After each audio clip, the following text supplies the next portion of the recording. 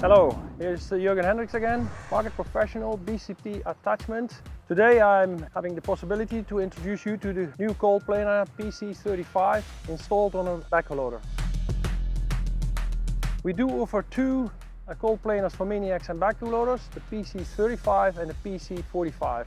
I'm going to show you some features and benefits of the cold planer. The cold planer does have mechanical depth control, as you can see here. From here you see nomenclature, PC35 indicates the 35 centimeters. You see here our, our tilting head. This head moves forward and backwards in depending on where you are positioned with the boom and the stick. So you move from circular movement to linear movement and it ensures that the cold planer is always horizontal on the deck.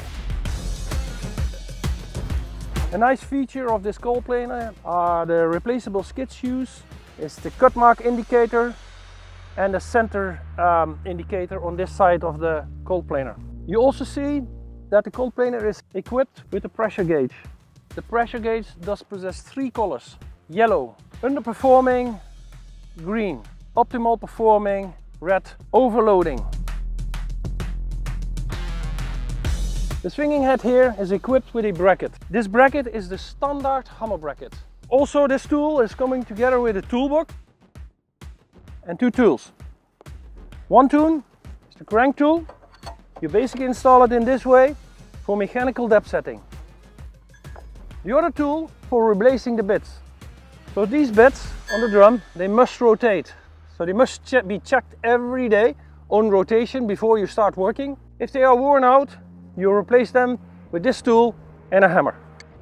When you look at this side of the tool, then you see two indicators. Drum center indicates the center of the drum as basically the deepest point of your cut. So if the depth setting is on 50, exactly here, that is the maximum depth of the cold planer at bottom moment with a setting of 50. The cut mark indicator, if you have it here on 50, then you see here 50 and then you understand immediately here I start to, to cut with the drum for the optimal positioning on a spot. Thank you very much. If you have further questions, please go to your local cat dealer.